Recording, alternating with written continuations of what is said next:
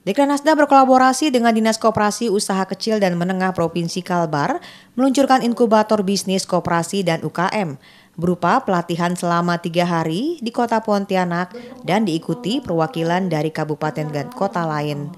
Inkubator bisnis ini sebagai langkah memacu kebangkitan pengrajin gria serta pelaku usaha kecil menengah di masa pandemi COVID-19 dengan memberikan pengetahuan serta wawasan mengenai pengembangan UKM hingga meningkatkan akses permodalan, pemasaran, dan jaringan usaha. Ketua Dekranasda Kalbar Lismariani berharap para pengrajin bisa memiliki daya saing untuk menghasilkan produk-produk berkualitas berbasis kearifan lokal yang mampu bersaing dengan produk luar. Kami dari Dekranasda menyambut baik yang diadakan uh, Dinas Koperasi Batam ini untuk mengadakan pelatihan. Pelatihan ini dua hari ya Pak?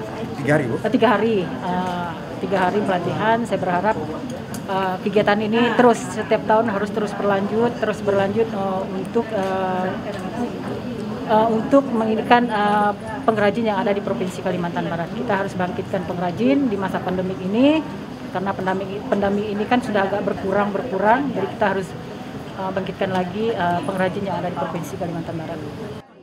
Melalui kegiatan ini, dinas-dinas terkait diharapkan bisa turut mendukung agar pengrajin dan pelaku usaha di Kalbar terus berkembang, sehingga produk lokal bisa menembus pasar internasional. Anugerah Kompas TV Pontianak, Kalimantan Barat.